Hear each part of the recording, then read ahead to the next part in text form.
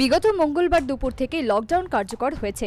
এই লকডাউনের সাথে জারি রয়েছে একশো চুয়াল্লিশ ধারা। লক্ষ্য একটাই, যে যার বাড়িতে থাকবে। কোনো জরুরি কাজ ছাড়া বাড়ির বাইরে যাবে না। প্রশাসনের এই আহ্বানে রাজ্যবাসী ভালোভাবেই সাড়া দিয়েছে। কিন্তু তাল কেটেছে বৃহস্পতিবার সাত সকালে রাজ্যবাসীর ইন্দ্রনগরের কালীবাড়ি এলাকায়। এদিন এলাকার মানুষ দেখতে পান এক অচেনা দম্পতি তাদের পাড়ায়। নাম ঠিকানা জিজ্ঞাসা করতেই কখনো বলছে রাজধানীর প্রতাপগড়ের আবার কখনো বলছে জগন্নাথ বাড়ি ইত্যাদি। আর এই নিয়ে সন্দেহের টানা বাঁধছে এলাকাবাসীর সেই দম্পতিকে আটকে খবর দেওয়া হয় পুলিশকে। এ বিষয়ে জনৈক এলাকাবাসী বলেন।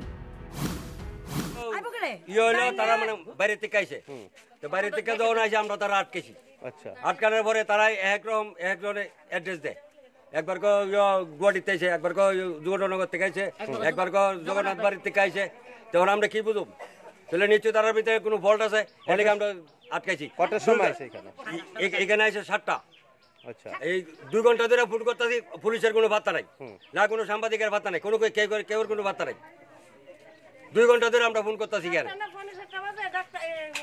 তারা এখানে যাচ্ছে তার মধ্যে এখন আমরা আমরা তারা এখন আটকে রেখে দিছি। কখনো আইসে পুলিশ? কিছুটা সময় নিয়ে আসে পুলিশ। খবর দেওয়া হয় মেডিকেল টিমকে।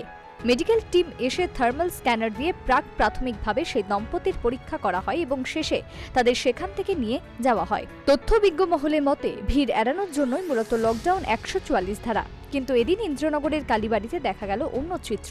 পুলিশের সামনেই প্রায় শখানেক মানুষের ভিড়, অথচ পুলিশ এ ব্যাপারে ছিল নিষ্পৃহ। প্রাথমিক পর্যায়ে ঘটনা যাই হয়েছে, পুলিশের উচিত ছিল ঘটনাস্থলে পৌঁছে এলাকাবাসীদের বলা উচিত ছিল, আপনারা যার যার বাড়িতে যান, অযথা ভিড় করবেন না, আমরা ব্যাপারটা দেখছি।